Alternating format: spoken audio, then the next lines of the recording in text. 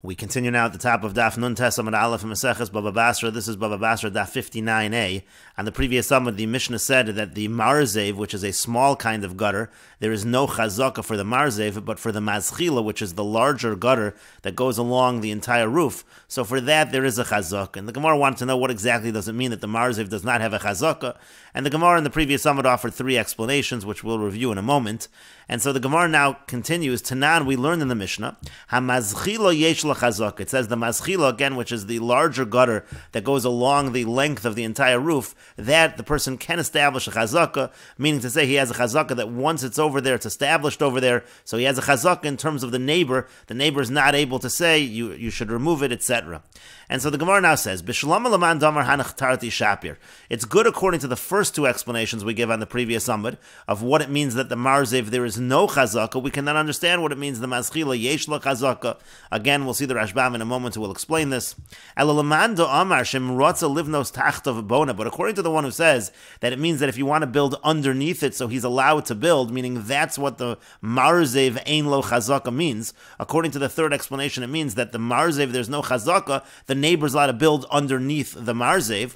So then the question is, my mina. So what's the problem? Why is it that he wouldn't be able to build underneath the maschila? Why is that bothering the owner of the maschila? Meaning to say, it doesn't make sense. If you're going to say, according to the third explanation of the Gemara, that the idea of marzev ein lo chazaka means that the neighbor is allowed to build underneath the marzev, so then it would mean maschila yesh lo chazaka means the neighbor is not allowed to build under the maschila, because there's a contrast between marzev ein lo chazaka and maschila yesh chazaka. Apparently, the person who owns the maschila has a greater chazaka. He's established himself more, and therefore the, the neighbor would not be able to build underneath the maschila. But what would be the problem of building underneath? It doesn't ruin the maschila as, at all. And the Gemara says, no, hacha b'maschila shall binyan askin. And here we're talking about a maschila. This this gutter, this pipe is shel binyan, which essentially means it's built out of stones, and so therefore it actually could be damaging to build something underneath. The Yamarle because he can say to him lo nichali de sisra ashisai I don't want the wall. What's essentially going to happen is that when you're banging, in order to build something, that vibration is going to damage what's holding up the maschila, and so therefore he can have that claim. That's why by maschila specifically, it could be a problem. It establishes a chazaka, and you're not allowed to build. The neighbor is not allowed to build underneath. And the Rashbam explains, Tanan, we learned in the Mishnah, Hamazchila yesh chazaka, the maschila, there is a chazaka, meaning uvemai dekatani hamarzev ein lo chazaka kamar. It's obviously a contrast with whatever marzev ein lo chazaka means. If marzev is ein lo chazaka in this sense, so maschila is yesh la chazaka in that same sense. Aval hamaschila yesh la chazaka. The marzev doesn't get a chazaka, the maschila does. So we have to understand what it means according to the various explanations. And the, and the Rashbam continues, Bishlom shaper. Now we can make it work according to the first two explanations the Gemara gave on the previous Amud of what it means Marziv Ein Lo Chazaka, and here the Rashbam explains the Shmuel that according to Shmuel, Shmuel's explanation of what it means Marziv Ein Lo Chazaka, the Yomer Ein Lo Chazaka Ruach Achas Shapir. So he says it doesn't have a Chazaka from one side. What that means to say is, is let's say the Marziv is on like the north side of the house, so he can't say it must be on the north side of the house, meaning the person who owns the Marziv can't say that I that he's not going to move it at all. No, it's not true. He may have to move it. He may have to move it to the south side side. He does have a chazaka that he could put it in one of the two sides, but he can't say that it's always going to be at that side. So that's how Shmuel understood Ein lo chazaka. He can't say that it's always allowed to be at this particular side. So itzrich lememar. So then it would make sense because then we could say the contrast. Aval hamaschila yesh lo chazaka. The maschila does get a chazaka. The davar kviyasu. That's something that's much more permanent. Ve'in regilan lo akram. You don't just move that from one place to another. So you can say that has a total chazaka in its place. It doesn't have to be moved at all. So that we can explain according to Shmuel's understanding of Marzev Ein Lo Chazaka. V'chein Rabbi Chanina, now Rabbi Chanina as well. Rabbi Chanina gave an, an, an explanation. Shem Haya Aruch Mekatzro. He said, what does it mean Mar Lo Chazaka? Let's say it's a little too long, so the neighbor's allowed to shorten it. So you can say Aval HaMazchila Yesh La Chazaka. You can say the Maschila does have a Chazaka, meaning Ve'ein Mekatzro no so the neighbor's not allowed to shorten it. So there we can give explanations. But the Rashbam continues, but according to the third explanation by Marze, the one who says, Lo what does it doesn't mean that the marziv has no chazaka shimratza livnos tachtov bona means to say that the neighbor can build underneath. So ma'ishna maschila to come yeshlo chazaka. Why should maschila be any different? That by maschila suddenly the person does create a chazaka she'ain bon tachta. Now the neighbor is not allowed to build underneath it. My nafka le mino lebal maschila. What does the bal maschila care? Iboni bal chatzar tusa. If the bal chatzar builds underneath, hello mafsid midi. That's not making him lose anything just because he's building underneath of the gutter.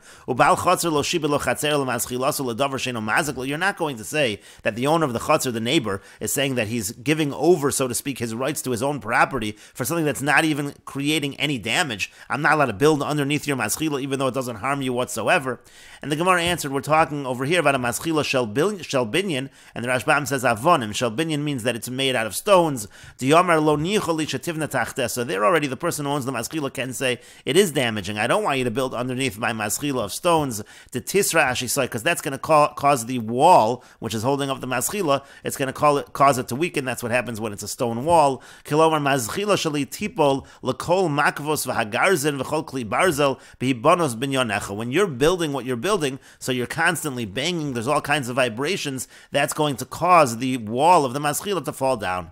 Avol gabi marziv lo chashav kol kach, but the marziv is not that important. Afilo even if it was made of stones, bonatachtav, you can build build underneath it. Inami or says the Rashbam, haida kol maflik bein marziv le maschila. The reason we're making a distinction in the Mishnah between marziv and maschila, haina mishum, the stam marziv shalit, is because a marziv in general is usually made out of wood, ustam maschila shalavonim, and the maschila is usually made out of stone, so that might be the contrast. But the point is, again, we can understand it even according to this third explanation of what it means, marziv ein lo chazaka. And the Gemara continues, Amar Rav Yehuda, Amar Shmuel, Rav Yehuda says that Shmuel says, it's sinor hamakaleach mayim lechatzer chaver. Let's say a person has a pipe, and the pipe is pouring water into the chatzar of his neighbor, uva bal hagag lesosmo. Now the owner of the roof, the owner of this tzinor, he wants to seal up the pipe so that the water is no longer going to flow into the neighboring chatzar. Bal hachatzar ma'akev olav. The owner of the chatzar actually can stop him and say, you cannot seal up this pipe. Because he can say to him, da'at kanis la chatzar didi lemishta Just like you have rights of my chatzar, that you're allowed to pour your water into my chatzar, you have those rights. I also have some rights. I also have rights to the water coming from your roof. I've established a certain right to get this water, and therefore you can't just seal up the pipe without my permission. And the Gemara continues, Itmar it was stated, a machlokas amoraim regarding this. Rav Oshia Amar Ma'akev, Rav Oshia says that he is able to stop him, meaning the neighbor can stop him from sealing up the pipe. Rabbi Chama Amar Eno Ma'akev, Rabbi Chama, Rabbi Chama is the father of Rav Oshia. He says, no, he can't stop him from sealing up the pipe. He has the right to seal it up. Azal Shaila the Rabbi Bisa, then he went and he asked it to Rabbi Bisa. Rabbi Bisa is the grandfather of Rav Oshia, the father of Rabbi. Amar Lu, he said to the Ma'akev, he agreed with the grandson, Rav Oshia. He said, yes, he is able to stop him from sealing up that pipe. And the Gemara says about the, the Reb Oshia, Reb Cham, and Rabisa, who were again grandson, son, and the, and the grandfather. He said about them, Kari Oler Rami Bar Chama, Rami Bar Chama called about them, V'hachut HaMeshulash, when you have a string which is intertwined three times, you have three generations of scholars, Lo B'mehera Yinotik, it's not quickly going to break. And who does that refer to? Is that Reb Oshia, Benosha Rabbi Chama, Benosha Rabbi Bisa. That refers to Reb Oshia, who was the son of Rabbi Chama, who was the son of Rabbi Bisa. And the Gemara continues at the two dots. The Mishnah said, Sulam Hamitzri Ein Lo Chazaka, the Egyptian ladder does not establish a Chazaka. The idea is that it's small, so it doesn't establish such a Chazaka. And the Gemara says, Hey, Chidam Sulam Hamitzri. What exactly is a Sulam Hamitzri? Amri Devei Rabbi they said in the, the yeshiva Rabbi Yannai, Kol She'ein Lo Arba Chavakin. If it doesn't have four rungs, meaning to say it's that small, so then we say it's a Sulam Hamitzri. It's considered a small ladder that cannot establish a Chazaka. And the Gemara continues at the two dots. The Mishnah said, Chalon Hamitzris Ein Lo Chazaka V'chulu. It said that if you have an Egyptian window also that's like a small window, it doesn't establish a chazak. And the Mishnah went on to explain what size. We're talking about a window which you can't fit your head through. And then the Gemara gave another, the Mishnah rather gave another explanation, Rabbi Yehuda's explanation, chalon hamitzris. He said that if it doesn't have a frame, that's what makes it that it does not establish a chazaka. And so the Gemara now says, Ma'ishna gabe sulam. What's the difference that by ladder, the Mishnah doesn't give any explanation what it means, the sulam hamitzri. U'ma'ishna gabe chalon, and what's the difference by window, the mefarish, where the Mishnah does go on to explain what a chalon hamitzris is. And the Gemara answers to that, Mishum de Kaboy ifluge Rabbi Yehuda b'Sefer. The reason why the Mishnah explains Chalon is because there's a dissenting opinion. There's an opinion of Rabbi Yehuda who says it, it, means to say that it does not have a frame, and so therefore, since there's a dissenting opinion, so the Mishnah goes on to explain and goes and explains what exactly a Chalon HaMitzris is.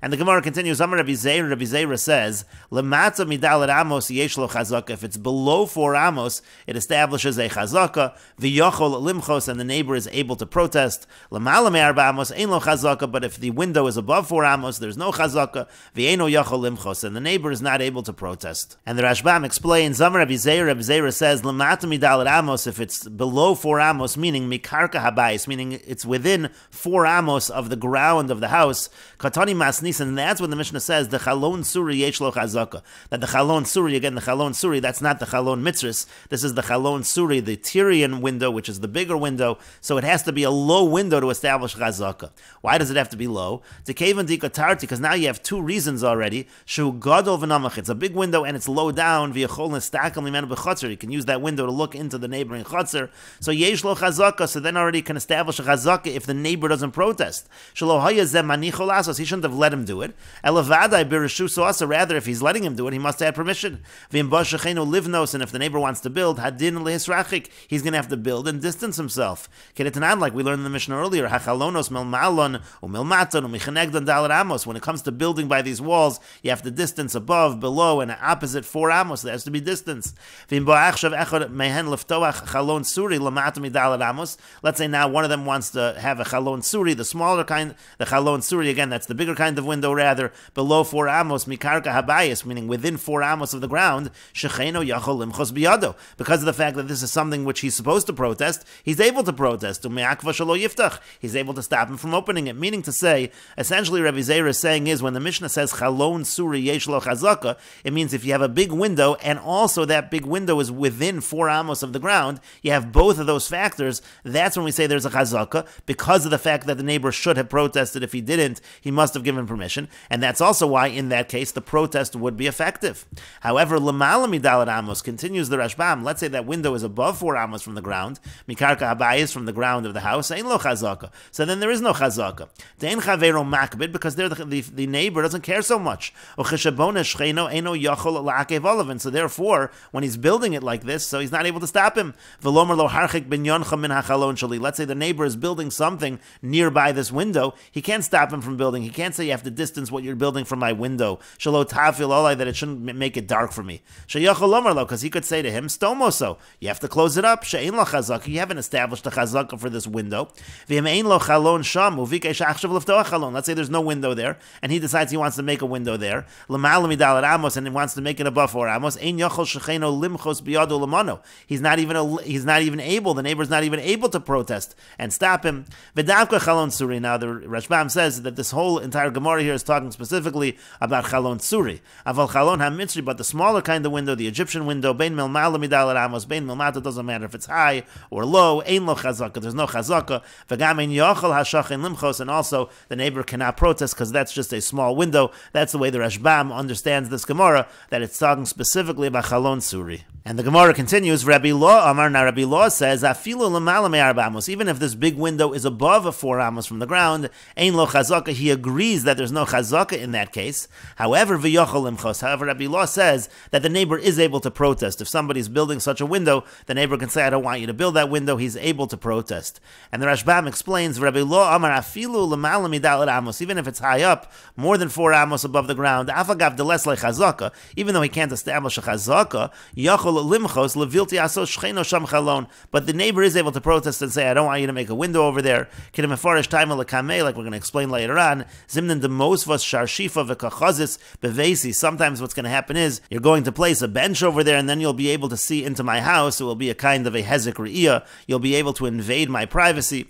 For Rabbi Zera lochayish lochin. Rabbi Zera, he's not concerned with this. The lochatzifi inshi kuli haylam evet hachi. A person's not going to have so much chutzpah to do this, and so therefore there's no reason to allow the neighbor to be able to protest. That's the machlokis, Rabbi Zeir and Rabbi Law, whether the neighbor is able to protest this kind of a window. And the Gemara continues, Lema bekofen al midas dom kamiflagi. Let's say that they are arguing, meaning Rabbi Zeir and Rabbi Law, they're arguing whether or not the neighbor can protest about this kind of window. Maybe they're arguing on whether we can force in terms of the midas dom. What that means to say is right now the Gemara is assuming that there's no damage whatsoever to the neighbor from a window that, that is this high up. And therefore, in a situation where there's no damage whatsoever, so Rabbi Zeir says if there's no damage, you're not allowed to protest. Whereas the other opinion, Rabbi Law will say, no, he's able to protest even though that's a midas dom.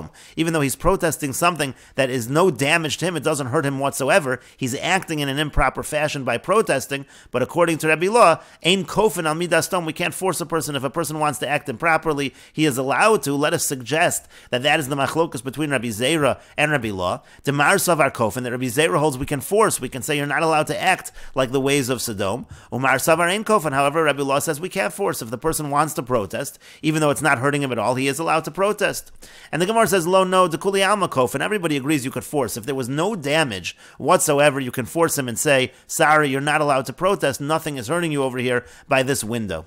However, v'shani hacha, but it's different over here. The Yomar le, because he can say to him, meaning the neighbor can say to the person who's trying to make this window, that there actually is some kind of damage. Zimnin demos v'shashifa tusach v'kaimis v'kachazis. Sometimes you're going to put a bench underneath you, and then you're going to be able to see, you'll be able to look in. So there is a potential damage that I want to stop. And the Rashbam explains midas stom, the way they behaved in stom. How did they behave in stom? Ein mahanel chaveru alpha b'shein chaser bekach klum. Meaning they wouldn't help. A person wouldn't help his neighbor, even though he wasn't losing out at all. Rabbi Zera Kofan, according to Rabbi Zera, we force a person not to act like that. The lamalami dalit, if a person's going to put a window above four amos, he can't even see out that window. Ein manichin oso limchos. So we're not going to say that the other person's allowed to protest. Sharei no chaser klum. The neighbor's not losing anything. You can't see out such a window into the neighbor's property. Rabbi Law ain't kofin v'yachol limchos. But according to Rabbi Law, we don't force, meaning to say if the neighbor wants, he can protest. And then the Gemara said it's not true. Really, everybody agrees kofin al midas midastom, but there's a potential damage over here. Veshani hach, it's different over here. Diika chisar, and there is a loss for the neighbor. Shar shifa safsel, because sometimes the person in the house, he can put a bench over there, so he can be very high up and he can look through the window downward into the neighboring chutzner, so there's a potential damage, and therefore the neighbor is allowed to protest that he shouldn't be allowed to build that window. And the Gemara continues. There was a person that came before Rabbi Ami with this exact case. He wanted to build such a window, and the neighbor was protesting. Shadre Lakami Rabbi Abba Bar Memel. He sent him before Rabbi Abba Bar Memel. Amar Le said to him, Ovid Le, Ki Rabbi Law. You should rule in this case like Rabbi Law, meaning to say the neighbor is in fact allowed to protest the construction of this window. And the Gemara continues, Amar Shmuel. Shmuel says, Well, let's say the person builds the window for the purpose of light. Afilu Kalshu, even the smallest kind of window window, yeshlo chazaka, there is a chazaka in such a case. And the Rashbam explains, Ahuda also wrote hayalasos chalon suri lamal midal amos. Person wanted to build a big window higher than four amos. V'chaveru hayamocha biyadu, the neighbor was protesting. Avid like Rabbi Law, he said, you can rule like Rabbi Law. Al mahachi hilchas, we see that that is the halacha. And the Rashbam continues, Amar Shmuel, Shmuel says, Uli or if the window is made for light, afilu kalshu yeshlo chazaka, even a small window can establish a chazaka. Chalon ha'asay likanis menu or b'makom efa, let's say it's a place that's dark, and you made the window for the purposes of light. Lo ba'inan chalon suri, there doesn't need to be a large window, a chalon suri. El afilu kalshu, even if it's a small window, yeshlo chazaka can establish a chazaka. The chalon ha'asay la'ora, because when a person makes a window for light, milsa de kviyusa, that's considered permanent. The a person always needs light. If he made such a window, he made it forever. And it was the responsibility of the person who owned the neighboring chatzar to protest within three years. And from the fact that he didn't protest, we can say that he must have done it with his permission. And the Rashbam points out our, our Mishnah is not talking about a window that's made for light purposes. The